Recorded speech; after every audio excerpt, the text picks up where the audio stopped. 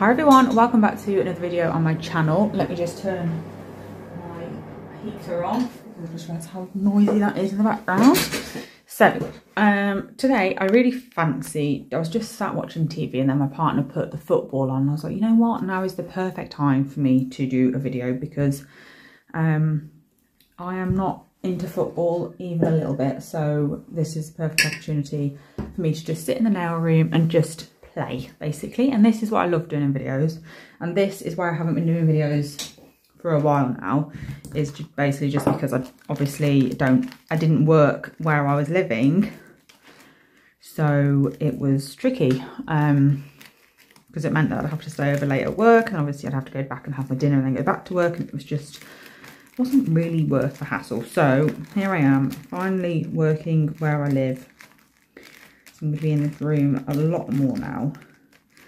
What I'm thinking today is I really fancy doing something that includes foil and blossom gel, uh, like blooming gel, whatever you want to call it, wherever you get it from will depend on what you call it. But mine is called blossom gel because it is from Bluesky. This is the one that I use. I definitely need to upgrade to a new bottle from either the same brand or somewhere else because this one is very, very nearly empty, so I'm not going to get much out of it now. But this is the foil I'm going to use just because it is absolutely beautiful and it was basically the first one I picked up, so why not? Um, I just need to figure out what I'm going to do. So that would be would be good if I could do that. So I think I'm going to go with, because we're using like an orangey um, foil, I'm going to go with an orangey base, but I want a really pale maybe even like a peach. Let me get my swatches. I usually do all this off camera, like figure out what I'm going to do and stuff, but I just thought you might want to see my brainstorming process. If you don't, then obviously keep skipping to when I start actually doing what I'm going to do. Um, I'm just going to hold up my colours. Let's get this to stand up a little bit so I can see the colours in it when it's reflecting the light.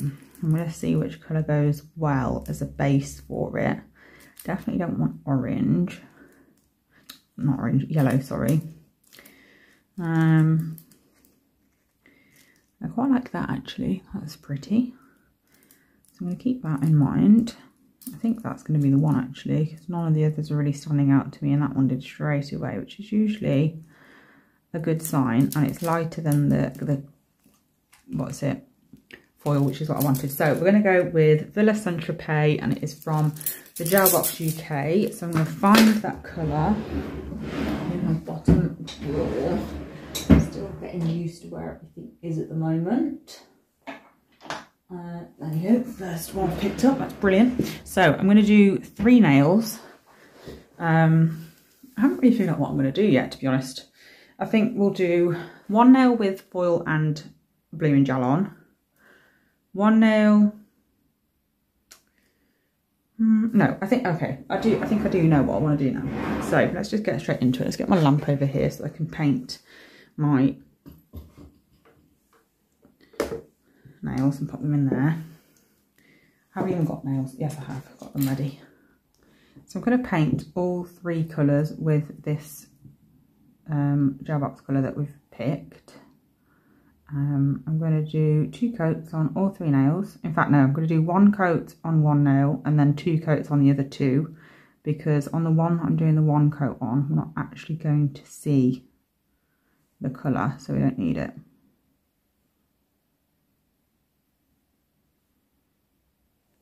I'm going to pop that into the lamp for a full 60 second cure, making sure that I'm painting these ones away from the lamp, of course, because I don't want to cure my brush.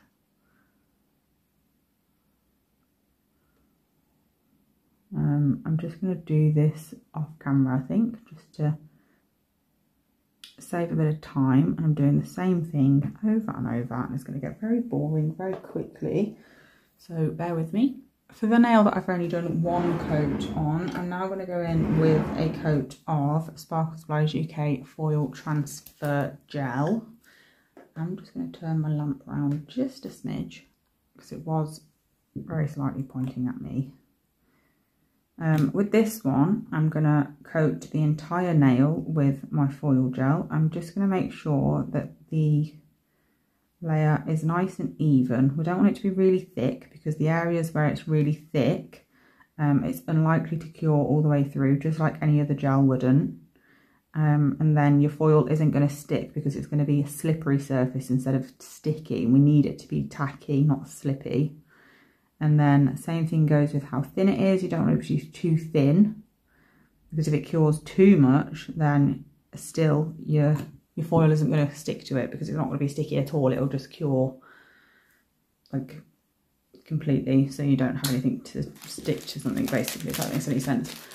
So I'm just waiting for the other two to cure until I, while I, um, so I'm not going to put that foil one straight in because I want to be able to keep an eye on how long I'm curing that for. So I'm going to take the other two out, pop that one in. I'm curing that for 30 seconds and then I will put my foil on and then cure it for a, a further 30 seconds. I'm just going to paint the second coat on these two and then I'll come back to the next step. Now the reason I didn't cure, um, the reason I didn't do two coats on this nail is because I'm actually going to cover this entire nail with foil. I'm not going to cover it in terms of like actually doing it like full coverage as in put it on and wipe it all over. I am just going to put it on really randomly, but we're still covering the entire nail. I'm just going for still the patchy effect, even though it's going to be entirely covered. It doesn't matter if there is still little areas poking through because the base colour is part of our design on the other two anyway, so it's not an issue. Just looks a bit more textured when you do it this way instead of really neatly applying it, as you can see. Looks so cool. I absolutely love foils like this. Anything holographic is always going to be a winner, but look at that, it's beautiful. So, like I said, I'm going to pop that back in for another 30 seconds because it needs 60 seconds to fully cure and I only cured it for 30 before I took it out of the lamp. So I'm finishing off that cure. And then on this nail, I'm going to do the same thing with my uh, foil gel. I'm popping it all over the nail, but I'm not really making sure that this is a perfect application because I don't actually want my foil to stick to all of this nail. It's going to be the patchy effect on this one, I've decided. So I'm just going ahead and popping that on pretty sporadically. Again, I'm not putting it in the lamp yet until it's finished curing the last step on the other nail. This one I am going to remove the tacky layer from because I want to put the foil gel just in a certain place. So I don't want too much of the foil to be sticking elsewhere where I don't want it. while I'm messing about with this one, I'm going to put the other one into the 30. So on this one, I'm just going to do sort of like a, a squiggle of foil gel down the centre, but not too neat. I do want it to be pretty random still. I don't want it to be like a perfect line basically, so I've just done that. I'm going to put that in again for 30 seconds. I'm just going to wait for the other one to come out because it's only got a few seconds left. I don't want to overcure this one. You might have to mess around with the timings of the foil gel. Um, they seem to work differently in different lamps, so it just depends on how yours is going to work. So if you put it in for a minute and it doesn't stick, it's cured too much, so just put it in for a little bit less time. If you put it in and it comes out and it's slippery, like I said, it's just applied too thickly, so try to put it on a little bit thinner. There's lots of troubleshooting to do with foil. It can be quite tricky, but once you've mastered it, it's generally one of the best things ever to be able to do because it is so easy once you've got the knack. Super, super simple. So I'm just patting this on. I don't want to go overboard and put too much on and make it look like the first nail. So that's how I'm going to leave that one, just random. Again, I'm going to pop that in for another 30 seconds to finish off that cure and then we're going to focus this down that that area that I've popped my foil gel like so rough up the corners a bit and then that is what that one looks like I'm going to pop that one into the lamp as well for the rest of that cure and then what I'm going to do is put things away because I'm really good at not doing that and then leaving them out and it drives me mad when it's all over the place. So the next thing I'm going to do is get my colour that I'm going to be using, in my Blossom Gel, which is going to be white. So I'm going to get that out ready. And I also need a dotting tool because I'm using my Blossom Gel in the, in my opinion, the easiest possible way you can use Blossom Gel. The first nail that we did, this one, that is finished now. I'm not actually going to do anything else with this. I don't think. No, I'm leaving that as it is because I don't want it to be overkill. So I'm just going to very quickly top coat this one and throw it into the lamp. I am using just random top coat, by the way. It's not brand specific or anything, just because I'm on display tips. So I've got quite a few top coats and base coats and stuff lying around that I wouldn't use on clients. Um, but I have them lying around because I know that I'm going to use them for videos. So those are the two are now finished curing. So here's what they look like at the moment. So this is what we're working with. I'm actually going to put the Blossom Gel straight over the top of the foil and the foil gel. I don't know how that's going to pan out because I've never done it before. But this is how we learn, isn't it? It's all part of the fun. So I'm going to get my palette and I'll pop a bit of my white on it. I am using the plastics from Gel Box UK. They do have two whites, which, don't get me wrong, at first really threw me. When I got the second box with white in, I was a bit confused because I was like, I already have a white and I wouldn't have been confused if they had the same name, but they don't. But I can promise you it is worth having both because they are entirely different whites, which I didn't even think was possible. Probably just me that feels like that, but honestly, it really baffled me that they were so different. Um, but yeah, there you go. so I'm just adding a little bit more foil to this one. There we go. Right. So now we're going to go in with the Blossom Gel. So it's very important that once you've applied this, you don't cure it. Because if you pop this in the lamp, it's not going to work the same. You need it to be wet on the nail for it to do its blossoming magic, basically. So it's very tempting to paint a nail and pop it straight in the lamp. I'm well aware of that. It's very difficult to avoid that temptation but you do need to in this process. So I'm painting it completely all over both of these nails. Obviously I did say that I am, I've just sneezed off camera now, it's making my nose runny, how annoying. Um, I did say that I'm not going to be putting like the blossom effect design over the top of this entire nail, but you'll see why I want it all over the nail in just a second. And then this one, the same. I'm going to pop it all over. If anyone recommends any Blossom gels, by the way, because I've never, Blossom or Blooming, whatever the brand that you use calls them, I've never actually used a different brand of it because this bottle has lasted me forever. I actually don't really do many Blossom type nails on clients, to be honest. This bottle has mainly just lasted me how long it has because I only do it in videos. Although my videos on YouTube, like my most popular videos are my Blossom Gel ones, so it's a bit confusing that they're not more popular on clients. Or maybe they are and it's just my clients that are not keen. I don't know. So we're going back to this one. I'm going to pop my, I'm just going in with dots and making it really easy for myself. I'm not going to overcomplicate it. Um, just dots. So I'm going to get my dotting tool. I'm going to put quite a lot of product on my dotting tool because if you don't have enough, you'll have like a little spot in the middle of your polish that doesn't actually have any gel on it and it will look really strange. Now I'm going back into my white every time to pick up a new dot. Just going to put a little one there and a little one there. Eventually you'll want to completely wipe off your dotting tool because it will get a little bit of a build up of blossom gel on it and then your colour payoff won't be quite as strong so you'll want to resort that out. I'm going to regret putting them on there so I'm not going to do it.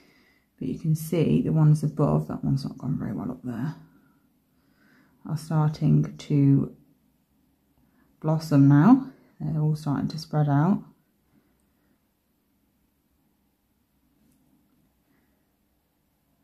The more white you put on your dotting tool, the bigger a, a blob you're going to get, basically. Like the bigger it'll spread out because the more product there is to spread. Okay, so that's what that looks like. I'm going to give it another couple of seconds to spread, just for the bottom ones to get on board. Love how that looks. And then we're going to pop that straight into the lamp as soon as it's blossomed to how I'd like it to look.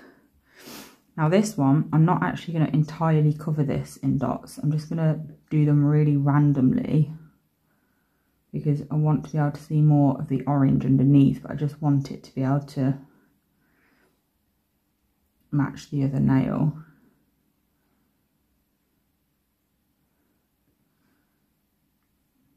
Super, super random. That's the joy of Blossom, is you never really know what it's going to look like until it actually starts to take place. I'm just going to pop a few really tiny dots now between the larger ones. I'm going to get it in the lamp before those tiny dots have chance to fill the spaces entirely.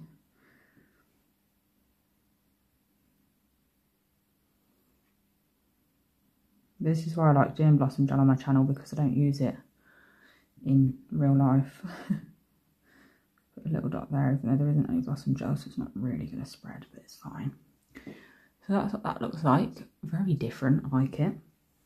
I'm going to pop that in the lamp and then all that's left to do is to just top coat.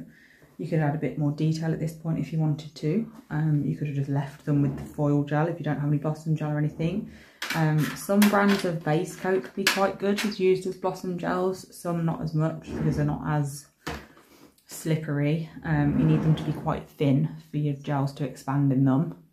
Um, but yeah, it's definitely worth having a play around just to find out if you can get away with using a base coat because then you don't obviously have to have two products, which is handy. Um, but once these have come out the lamp and I've top coated them, I will show you what they look like. So this is how they turned out. I am so, so happy with them. Um, that foil, that middle nail is absolutely beautiful. I'm so tempted to have that on all 10 of my nails next time I do them. I won't because I say this every single time I do a design on my channel. I always say like, yeah, I'm going to have that and then I never ever do. But I could definitely do that. I absolutely love it. I've done it with pink, a pink foil before and it was, it looked phenomenal and I got lots and lots of compliments on it. But I just file my nails too often, like by accident, especially this one here, you can see. But yeah, let me know what you think of this design. I absolutely love how it turned out. It's very different. I definitely prefer this one, but it's nice to have a little experiment and see how it goes. I love how it just forms its own its own shapes. It looks really, really cool. I definitely should have spaced these out a little bit more so we could see that foil underneath, but every time we have a little play in here is is a learning curve. So I know for next time, but still happy. Um, so yeah, let me know what you think. You could do it with so many different colour schemes as well, which would be good. Um, but yeah, thank you so much for watching and I'll be back soon with another video. Bye!